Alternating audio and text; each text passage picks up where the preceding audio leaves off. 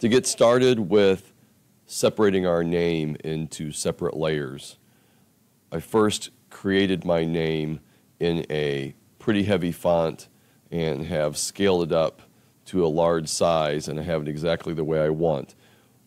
Once I go through this process of breaking my name apart and distributing it to layers, I will no longer be able to go back and edit my type with the type tool over here. It'll be as if I have drawn it with the pen tool. So I'm going to select my entire name, go up to the modify menu and choose break apart. That will divide each of the letters of my name into separate uh, items. Go back to the same command, go back to modify and say break apart again.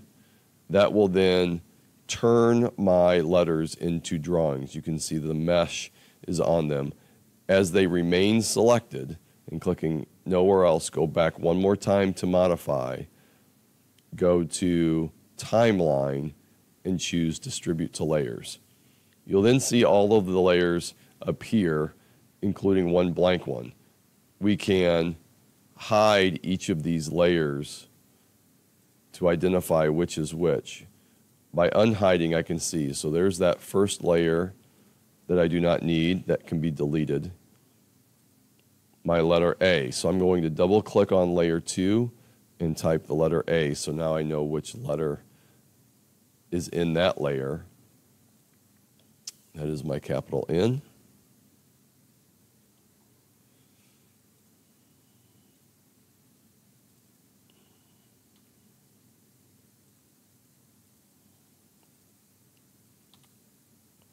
Now that you have your letters each distributed to different layers and the layers are renamed, you're ready to, to begin animating.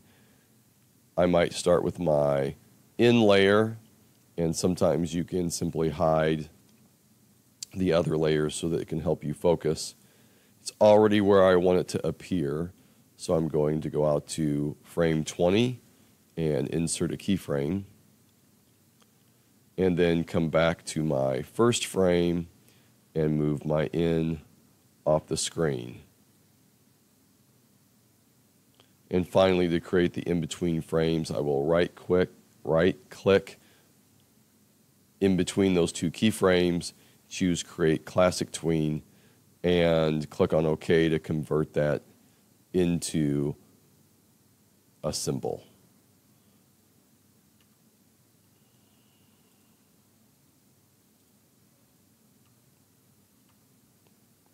Following that pattern, I can continue to animate each of my own letters, realizing that because they only have a keyframe in frame one, they're going to disappear if I can go on and add frames,